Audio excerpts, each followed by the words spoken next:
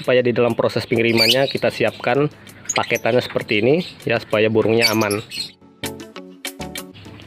Halo teman-teman peternak burung lovebird di seluruh Indonesia. Hari ini ada salah satu indukan saya yang akan dibeli ya oleh peternak lain yang baru mulai belajar untuk ternak burung lovebird oke kita lihat indukannya sama-sama.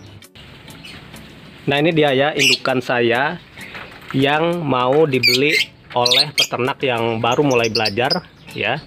Kemarin dia mencari burung lovebird yang dewasa ya satuan. Namun saya sarankan apabila tujuannya untuk diternak maka ada indukan yang resmi ya yang sepasang yang sudah produksi lancar di tempat saya yang siap untuk saya jual.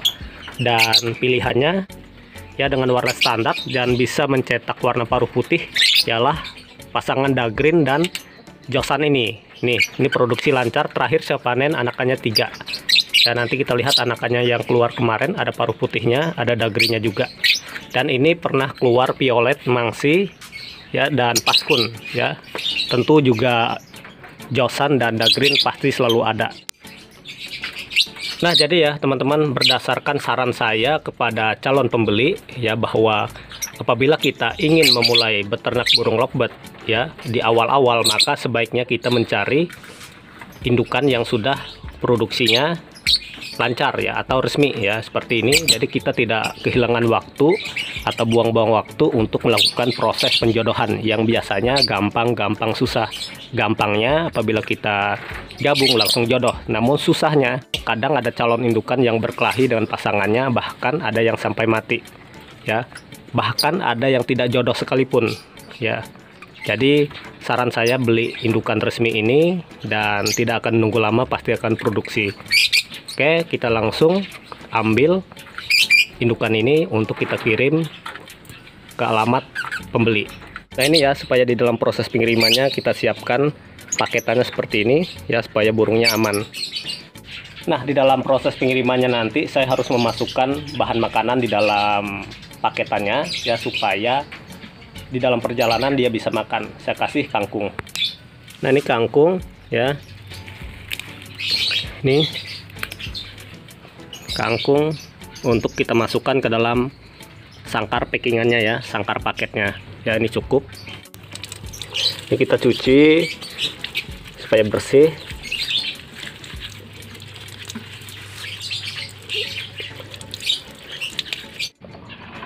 oke. Nah ini kangkung tujuannya supaya ketika dia haus ya dia makan ini ada airnya ya. Di dalam kangkung ini mengandung air jadi dia tidak haus. Jadi harus kita kasih kangkung selain pakan hariannya nanti. Nah selain kangkung kita juga bisa kasihkan jagung selama dia di perjalanan supaya bisa makan jadi tidak kelaparan.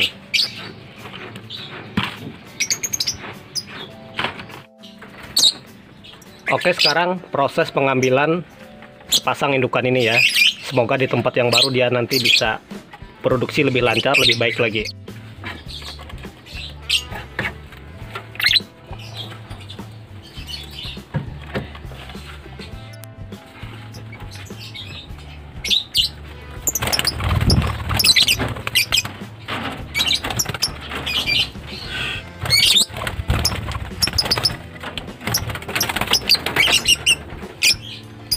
Oke kita dapat.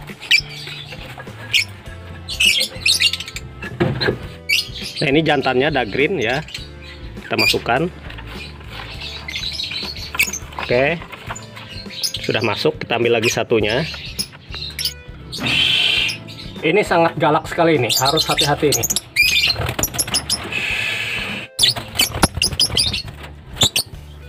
Dapat bro Nah ini dapat ya. Kita masukkan ke sini.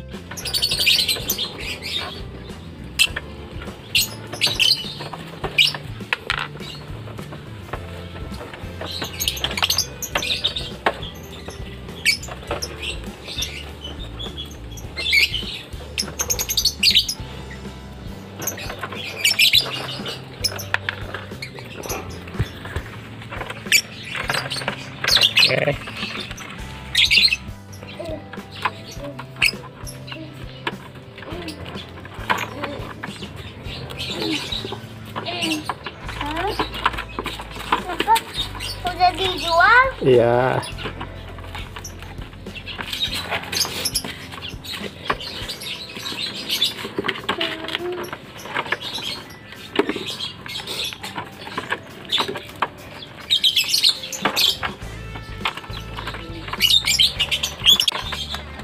Nah, selain jagung dan kangkung kita kasih ini ya. Millet putih dan lainnya ini selama di perjalanan.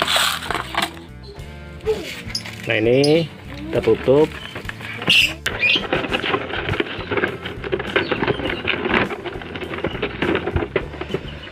Kita lihat anaknya yang kemarin ya. Ini anakan dari Dagrin dan Josan yang kita ambil tadi ya. Induknya sudah kita packing ya nah ini kemungkinan jadinya paruh putih nih ya paruh putih kemudian ya anaknya lagi ada lagi.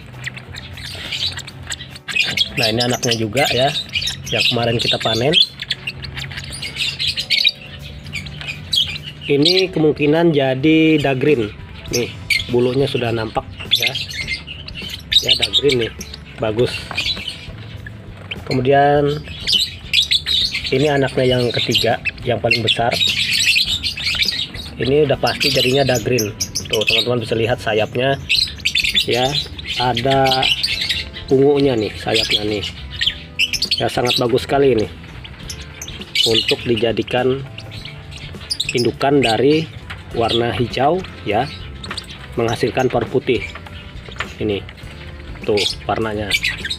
Dagrin Nah ini ya, ini sudah aman di sini ya. Sekarang kita kasih isolasi ya atau lakban.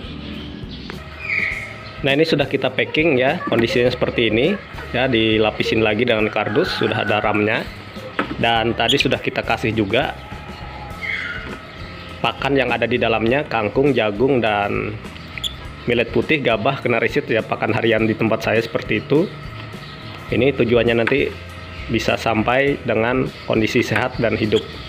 Nah ini ya paketannya sudah selesai akan kita kirim menggunakan travel ya jalan darat sekitar 3 sampai 4 jam akan sampai di tujuan. Ya harapan kita sampai dengan kondisi sehat dan bisa produksi lancar lagi di sana. Oke. Okay.